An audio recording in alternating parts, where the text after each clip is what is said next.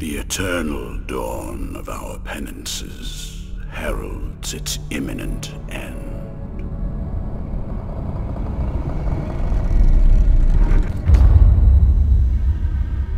Each was born to put an end to the other.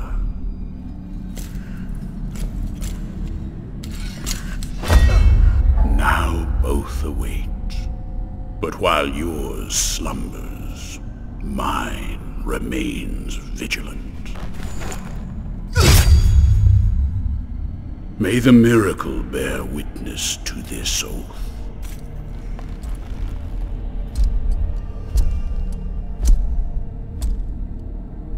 By which I remain here for our long-awaited meeting.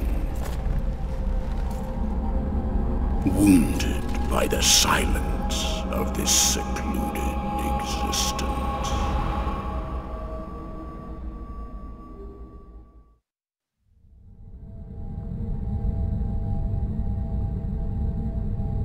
then, as the city of the blessed name rose up, borne on the shoulders of three mighty statues, the resounding beat of a great heart could be heard emanating from the clouds, thundering like the knell of an unseen church bell, raised higher than any other, enchanting us all to lift our gaze aloft in an ascetic call to prayer. For the miracle was about to give birth to a child.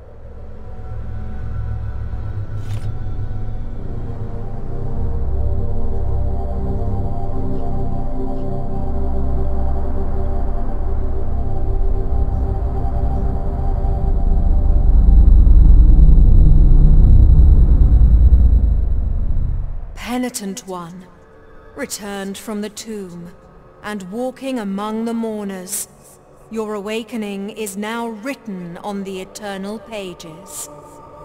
Anunciada is my name, and I hail from the heavenly mountains on high, the seat and the beginning of all that is holy, so that I may address you.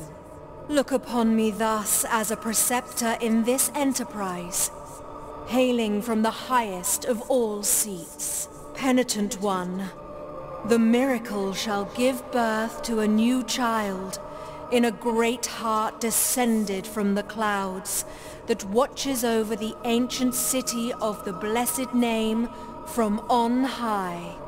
You must reach it to stop its birth. But on this ascending path of penitence, the Arch Confraternity awaits you. Those penitents that the miracle itself took as its sentinels now await your arrival. Orospina, the Confraternity of Embroiderers. Benedicta, of the Confraternity of Endless Orison. Odon, of the Confraternity of Salt. Lesmes, of the Confraternity of Incorruptible Flesh. All under the dictate of the oldest penitent, the first among them all, who was Eviterno, father of the penitents. Penitent One, the miracle has instilled three regrets in the consciences of three of its guardians. Only by revealing them shall you achieve the humiliation of the sculpted figures that hold up the city, allowing you to ascend to its upper reaches, and finally to the Great Heart. Look for the Guardians.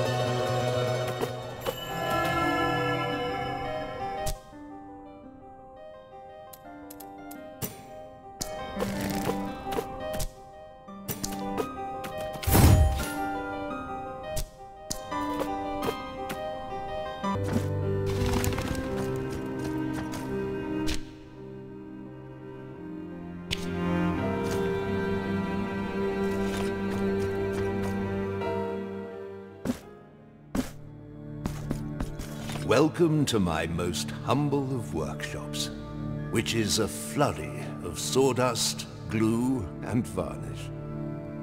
Montañés is my name, Master Sculptor.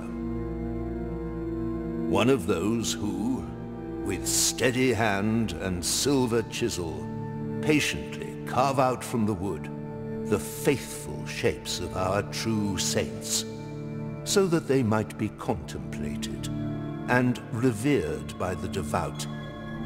No trace of light remains in my glassy eyes, yet still I know what thou seekest and needest. For are we not all penitents on this earth, in some way?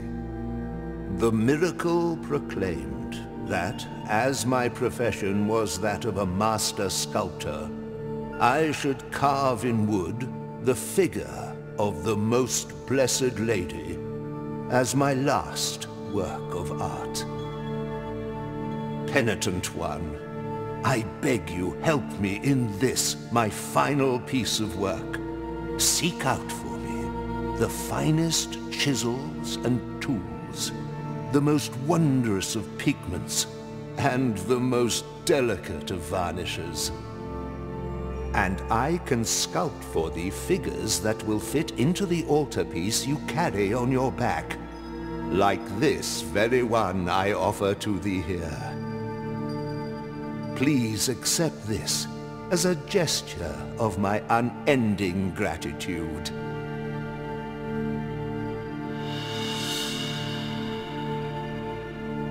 It is but the first piece of many more I shall carve for you. Now I shall place it upon the altarpiece upon your back, and you will feel its grace, but also its burden. The hands of the miracle will guide me in the carving in accordance with the memory you bring me. May they guide thee as they guide me, penitent one.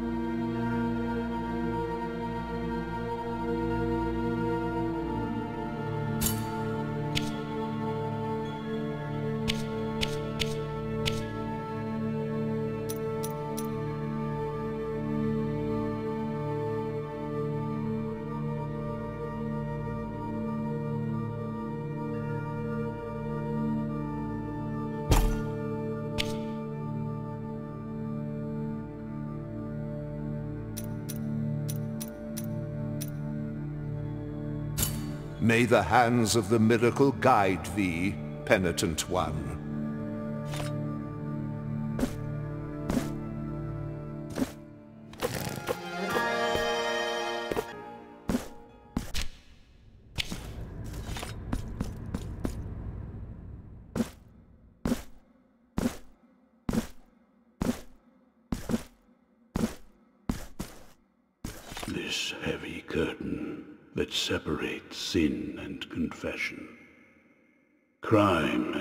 Judgment, conceals naught but shadows. Here, in my darkness, there remaineth but tears for me, and forgiveness for those of you who seeketh it. Where are the bereaved now? Where are the repentant? How long since the long agony of this sacrament began. Now that your penance of silence and the pain that plagues your flesh has led you to my dark confessional, let me purge the guilt you bear, and thus alleviate your burden.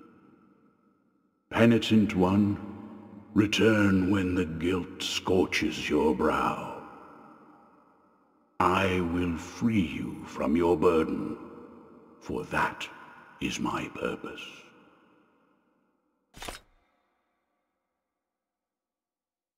Penitent one, I will free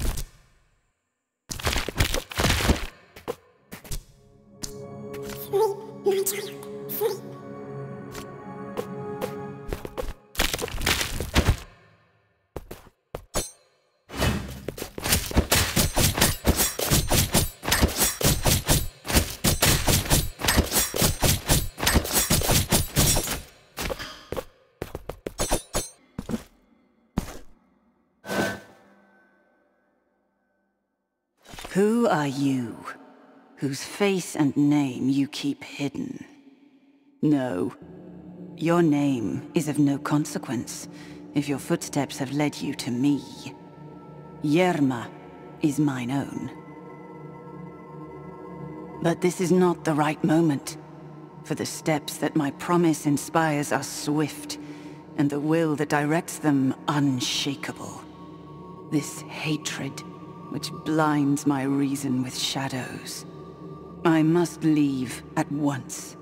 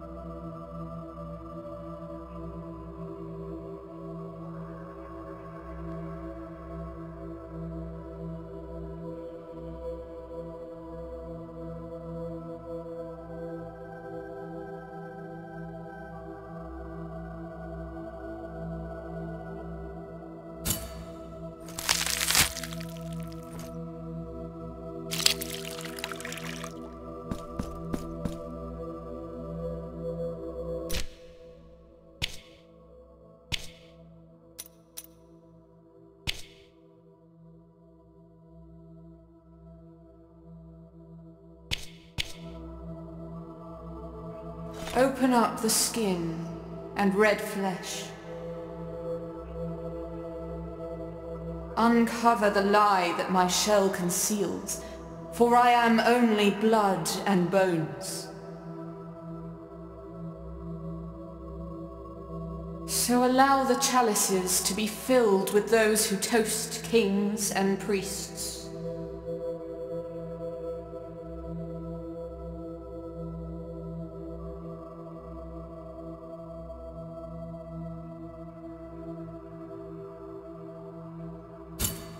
Now I shall grant thee a new flask.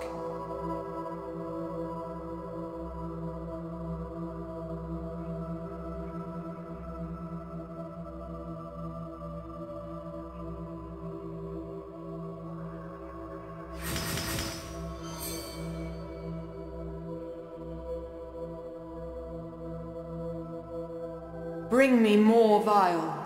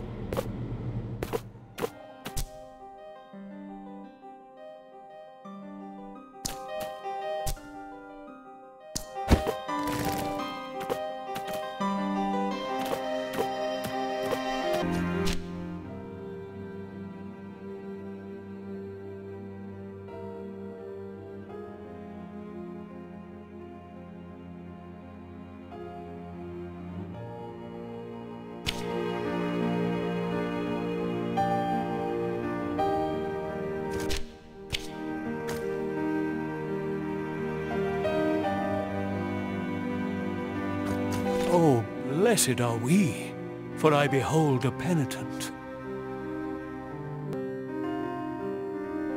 Humbly allow us to present ourselves to your reverence. We are Medardo and Escolastico, pilgrim merchants and scribes by trade. You never know where precious assets may be. What, pray, can be unjust or malevolent in walking the roads in pursuit of a twofold profit? That of the pocket by selling, and that of the spirit by prayer. While Medado pays penance in his meditative meanderings, I take care of the business side of things, sparing not a drop of ink to write about the beautiful landscapes of the many varied paths we travel.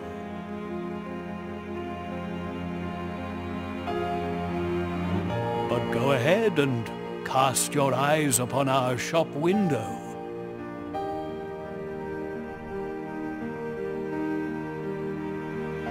The objects that were lost on voyages have great appeal and fascination, as they have become a reminder of the feat itself.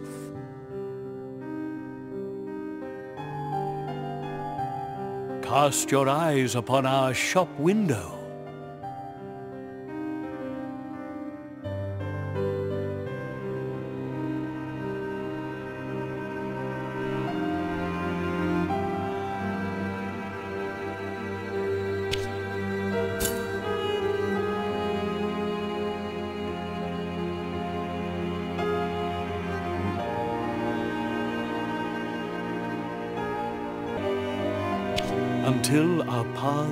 no sé qué.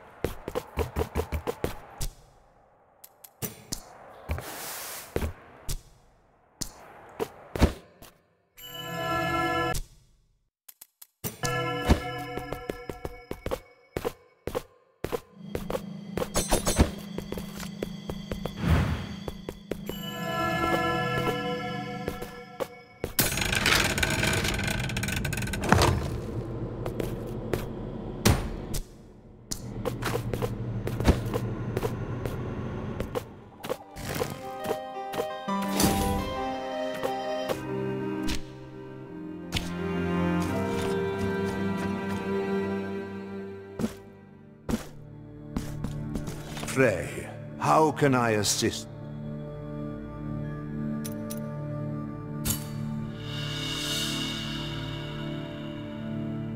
This mallet is so wonderfully balanced in the hand that it feels quite effortless to move. Know that you have my gratitude, penitent one.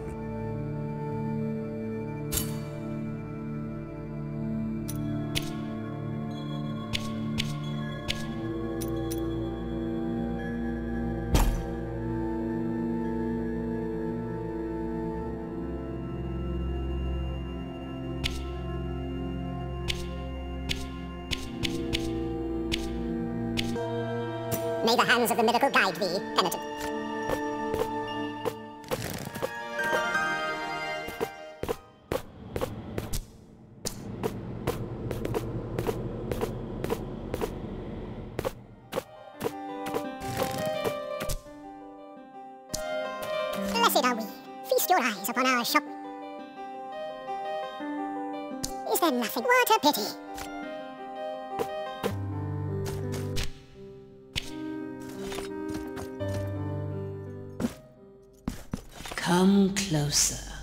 Contemplate this delicate tumbaga. The embroidered shawls, the silk dresses. You are in Regina's shop. My goods are my home, my bed.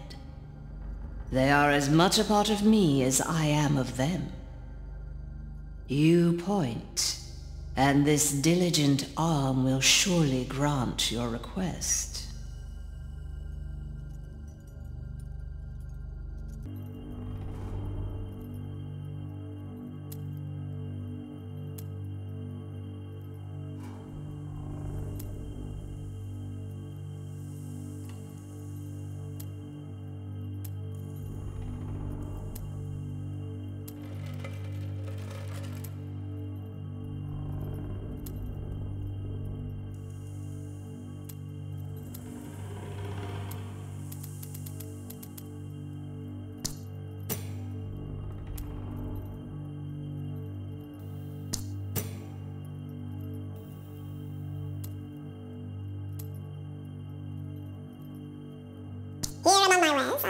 Your return.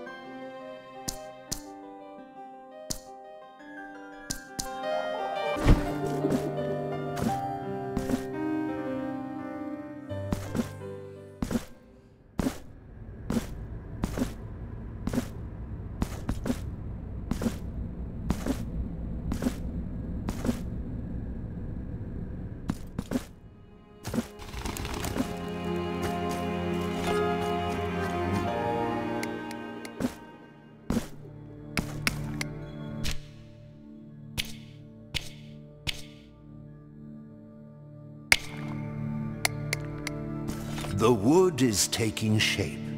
I sense how its veins nourish a body that seeks to be wounded with my chisels and hammers, that yearns for the cuts and indentations that will free it from its coarse origins.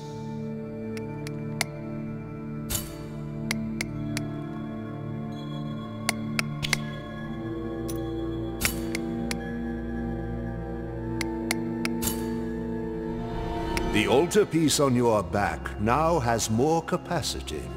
Here, I will wait for you until you gather more marks of martyrdom to extend your altarpiece.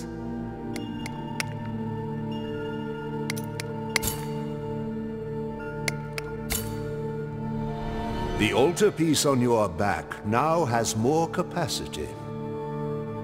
Here, I will wait for you until you gather more marks of martyrdom to extend your altarpiece.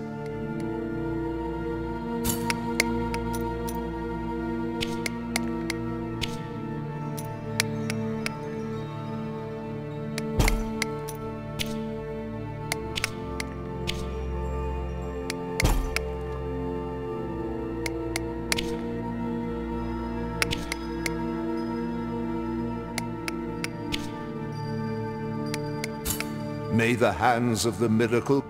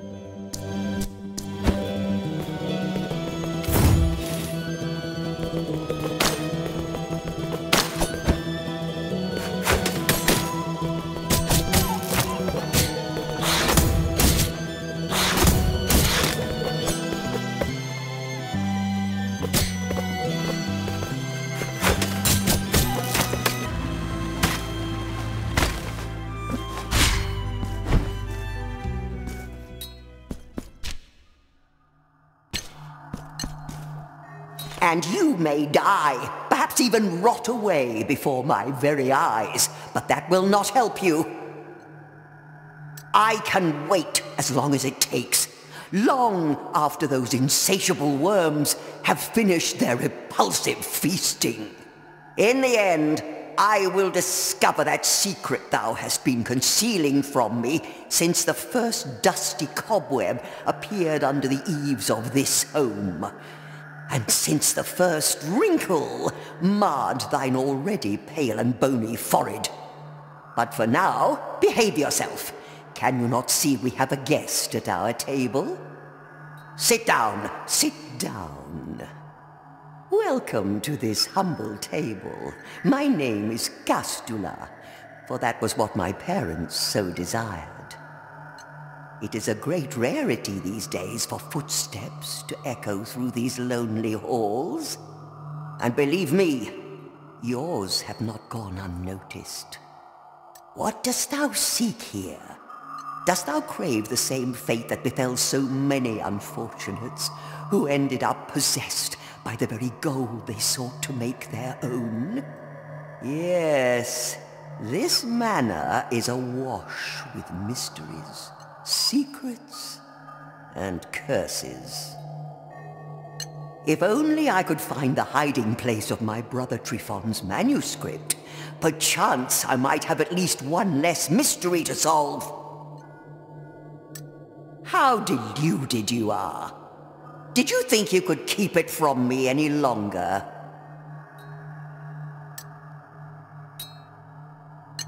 Do not listen to this brother of mine, dear visitor. Do not believe his untruths.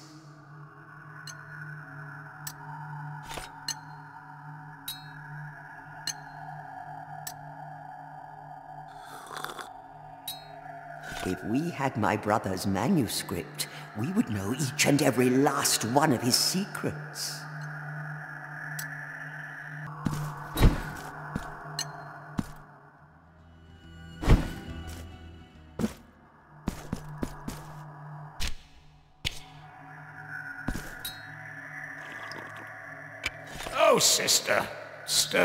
Terrible Gastula, seekest not to deceive me with your detached expression. That serene indifference that becomes thee so well. I know you hear my words, even though the look you return to me arises from the depths of the shadows themselves. Welcome, visitor, to this table of reproach and intrigue. My name is Trifon, for that was what my parents so desired. Payest no attention to my sister's words, nor her silences, but just by looking at her withered face one can sense her malicious smile. No, I am no longer interested in your confabulations. Thine understanding has long been governed by a dastardly imagination. I remember when you had that old blue-green headscarf. it was so soft. You kept saying that it transported you back to other times, to distant memories. If you held it now in thine hands, perchance you might cease with thy constant accusations. You would never have lost it if, just for once, you had stopped rummaging through my affairs.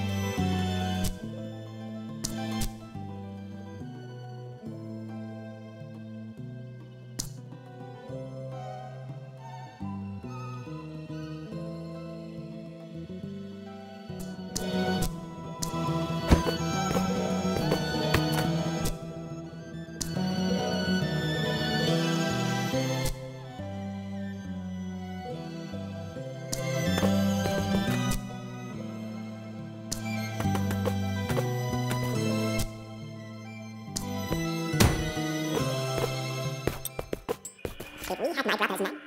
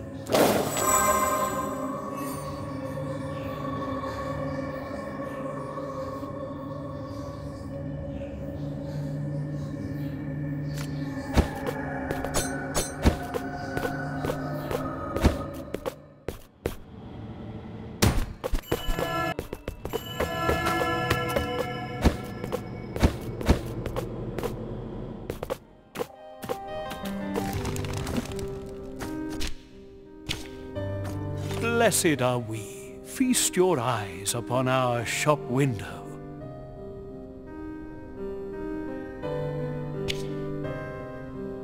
We have no more items left, but you never know what may turn up on these paths. Pray, come back later, penitent one.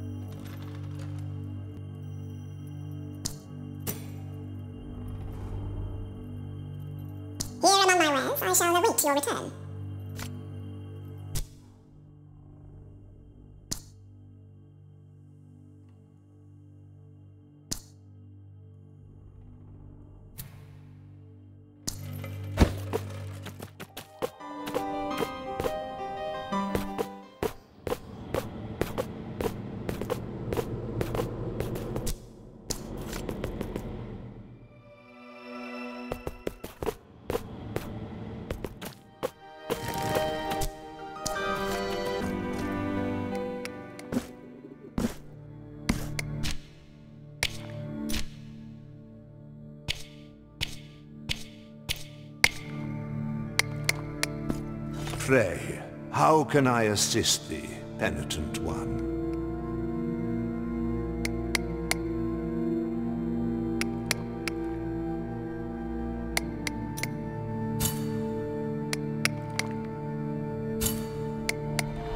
The altarpiece on your back now has more capacity.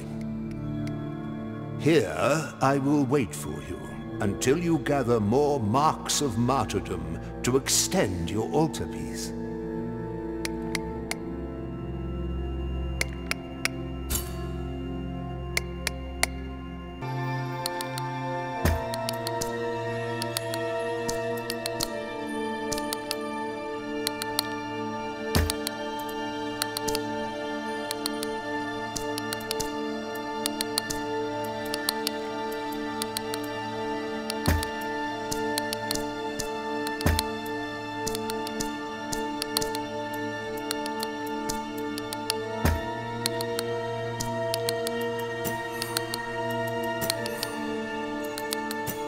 May of the medical...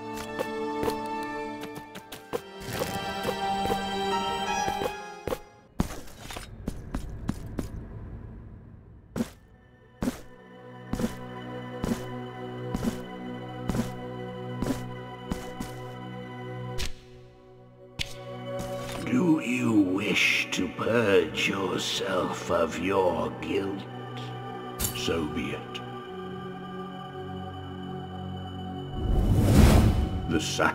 has been completed. Your guilt has been purged, but will remain my eternal burden, for that is my appointed purpose. Now go in peace.